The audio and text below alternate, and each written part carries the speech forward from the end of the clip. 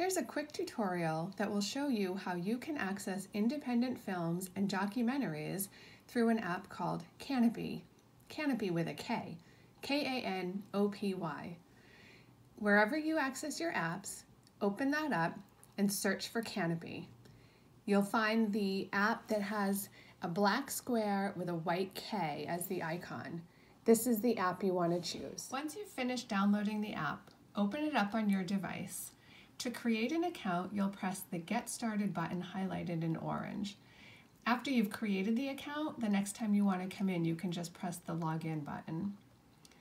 When you press Get Started, it's going to ask you for the name of your library so that it can validate your card.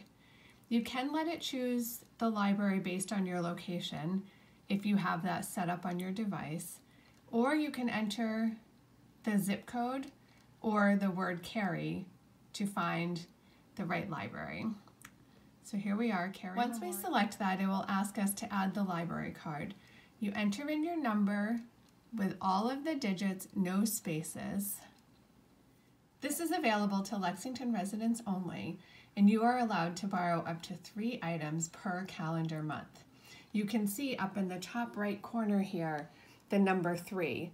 That indicates how many items you can still borrow this calendar month it will go down as you borrow things and it will reset at the beginning of each month. You can browse, this is similar to a Netflix setup or an Amazon Prime. You can browse through things that are newly added, um, people that we're remembering right now, things that are trending. To watch a video, just click on the cover image and you'll see a play button. When you press that, the movie will begin. This screen will also give you a synopsis of the movie as well as its length, a rating from other users, and the year it came out.